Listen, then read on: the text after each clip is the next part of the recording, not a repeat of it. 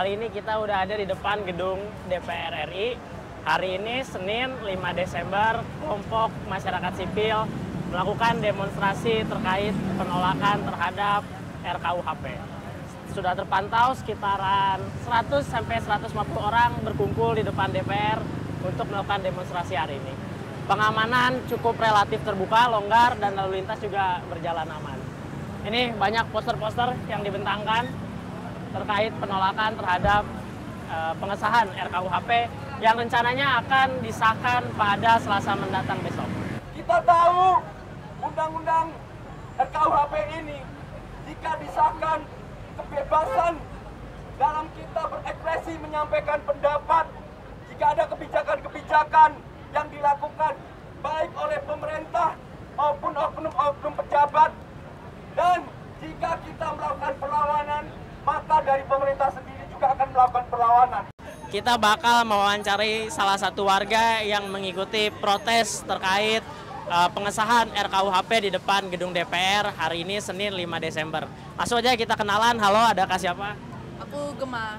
Halo Kak Gema. Kalau dari pandangan Kak Gema yang mengikuti demonstrasi hari ini, kira-kira bagaimana pandangannya terkait demonstrasi RKUHP hari ini?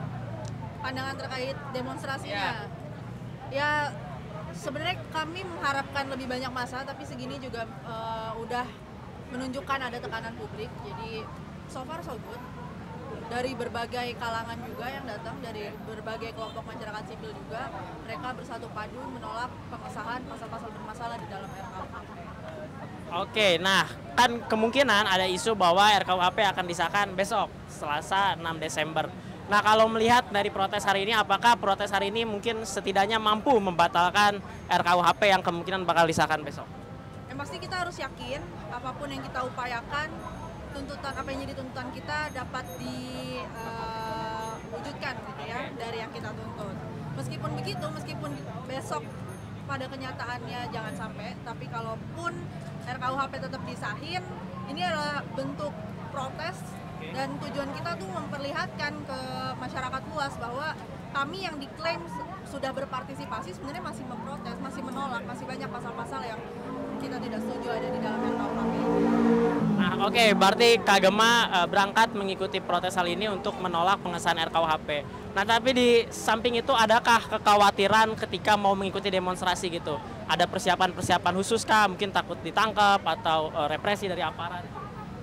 Ya kekhawatiran itu pastinya ada karena udah banyak banget presiden represivitas khususnya dari aparat gitu ya dari polisi dan lain sebagainya yang terjadi di tengah-tengah proses demokrasi uh, khususnya di demonstrasi gitu ya. Pasti kekhawatiran itu ada. Persiapannya sendiri sebenarnya kami seperti uh, proses-proses sebelumnya aja bentuk mitigasi kayak cari body selalu bersama bajunya terus juga bawa uh, perlengkapan-perlengkapan yang dibutuhkan perlengkapan pribadi gitu sih. Ada persiapan khusus nggak? Minum jamu madu gitu? Ya uh, ini sih bertapa aja paling minta kekuatan. Biar kebal.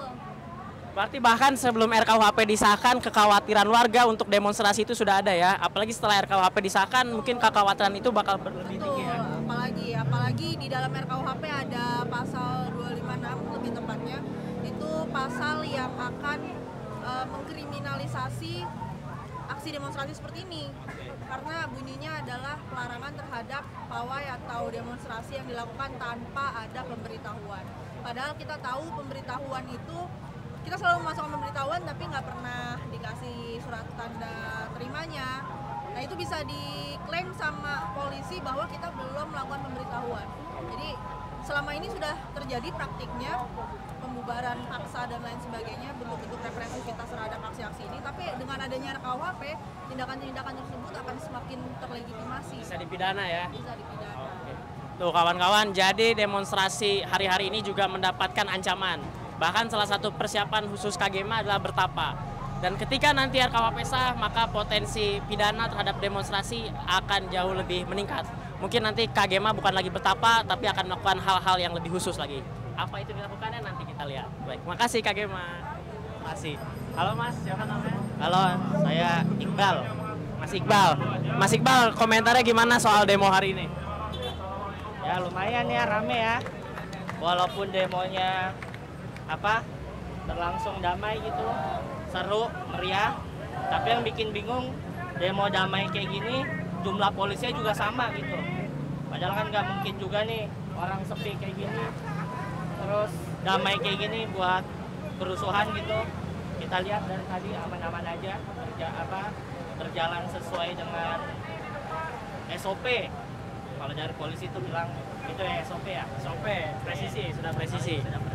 Nah, kalau komentarnya kan katanya isunya RKUHP bakal sah besok, Selasa 6 Desember. Nah, artinya ini adalah demonstrasi terakhir sebagai upaya penolakan atau menggagalkan pengesahan RKUHP. Melihat eh, semangat ataupun jumlah masa hari ini, apakah eh, percaya bakal RKUHP dibatalkan gitu? Atau mungkin prediksinya eh, RKUHP apa bakal dibatalkan atau tidak? rame aja terus ribu ratusan ya apa ribuan gitu luka-luka terus lima orang meninggal aja tuh tetap aja tuh. RKUP pengen pengen disahin waktu itu. Gitu. Apalagi sepi kayak begini kan. Belum lagi ini udah mendekati tahun politik ya. Ya gitu, gitu. Jadi eh, ngelihat hari ini situasi hari ini kemungkinan RKUHP tidak bakal dibatalkan. ya. Kalau tidak bakal dibatalkan, terus ke depannya kita bakal gimana nih? Kalau kalau tidak bakal dibatalkan ke depannya mesti gimana ya? Kita mesti apa ya makin berani kali ya makin berani apa demonstrasi gitu. Ya biarin aja kita ketangkap biarin aja kita rame di mana? Di eh, Polres Polsek Polda Ya. di rutan juga. Jadi biarin aja warganya pada di rutan polisinya pada di jalanan. Jadi biarin aja biar rame gitu di rutan. Jadi nanti tukeran aja gitu ya semuanya seragaman semua yang di jalan gitu Nah, terakhir mungkin pertanyaannya, kalau dari Mas Iqbal sendiri eh, pandangannya terkait RKUHP itu menolak sepenuhnya, menolak pasal-pasal bermasalah atau menolak pengesahannya? Atau minta ditunda? Atau gimana? Kalau saya sih minta ditunda ya, soalnya kan masih ada juga waktu itu kan semangat RKUHP ini sebenarnya semangat untuk eh, bangsa ini mem- memiliki kekayaan sendiri terkait kitab undang-undang hukum pidananya. Tapi eh, nyatanya masih banyak apa pasal-pasal yang ternyata eh, warisan kolonial gitu. Jadi harusnya kan dekolonialisasi. Justru kalau begini kan masih kolonial gitu kan wataknya gitu. Jadi lebih baik ditunda dulu, santai aja pelan-pelan. Mau ke mana sih? Maksudnya jumlah orang kan ditangkap rata-rata juga kebanyakan gara-gara maling, sendal, ya kan? Maling apa lagi? Kotak amal. Kotak amal, maling motor tuh susah tuh kalau kita ngelapor tuh, ditangkapnya susah tuh, ya kan? Apalagi ya pidana-pidana pada umumnya gitu. Apa kejahatan-kejahatan lah yang dilakukan. Ini kalau disahin buru-buru entah mau ngapain ya, mungkin nanti kita dangdutan doang tapi isinya ada kritik ditangkap. Nanti abang-abang yang diganggang nggak bisa dangdutan lagi. Oke, sekarang kalau melihat situasi hari ini, ngelihat polisi-polisi hari ini, kira-kira banyak senyum atau banyak cemberut ya? Ini maskernya ditutup nih. Apa perlu kita buka nih? Biar kita tahu. Ya, kita wawancara dulu gimana? Boleh. Oke. Mungkin kita wawancarai ya.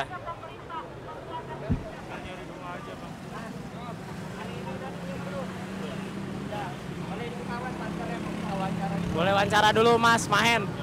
Oh yang lain aja. Berarti tidak tidak ramah.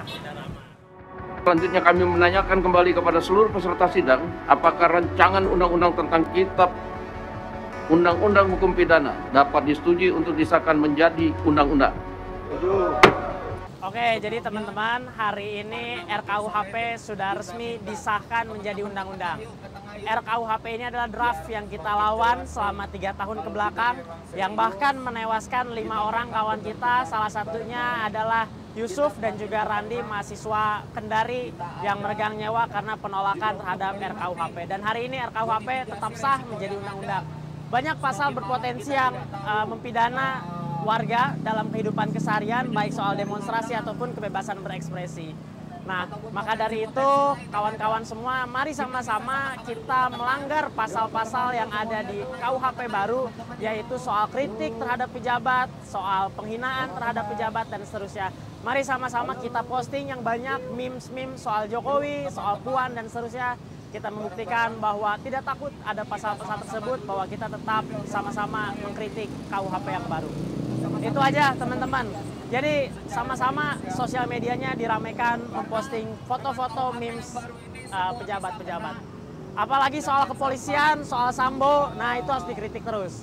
Karena sampai hari ini tidak ada titik jelas. Terima kasih semuanya.